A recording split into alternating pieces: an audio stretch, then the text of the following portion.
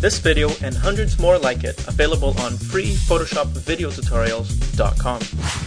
Okay, now we're going to learn how to blend two or more images together so it seems like they're actually, you know, blending into each other as opposed to just two images next to each other.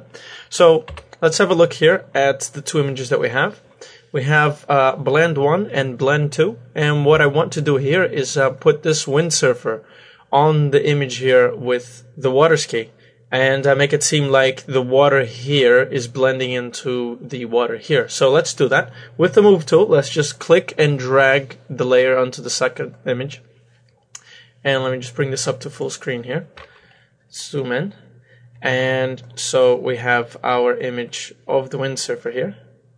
Let's put them around here. And now we want to just blend that in. So what we want to do is um, bring up our layers and make an, a layer mask. And now what we want to do is select our gradient tool. Make sure we're on white on black. So click on the X to have white on black. D if you're not uh, on white on black yet, just press D. And uh, make sure you're on this first uh, gradient tool here. So now what I want to do is just select from about the arm here to the edge of the image here. Now, if you want to do a little bit of an angle, that's okay. Just don't go too overboard here, but just a little bit of an angle is okay. And just get right to the edge of the image here. Okay, so we're blending the two images and we just have to correct this little bit of problem here.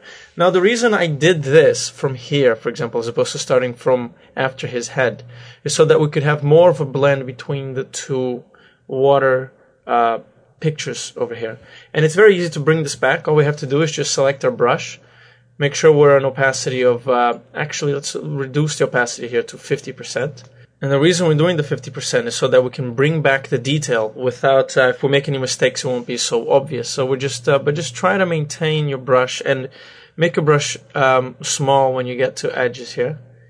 And just try to stay within the image and bring back that detail. So there we are, we have successfully blended the two images together. If you enjoyed this video, show your support by subscribing, rating, and adding it to favorites.